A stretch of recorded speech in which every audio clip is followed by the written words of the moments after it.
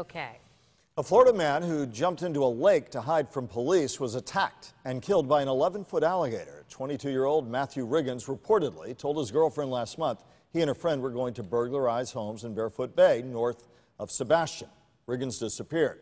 His body, authorities say, was found 10 days later in a pond.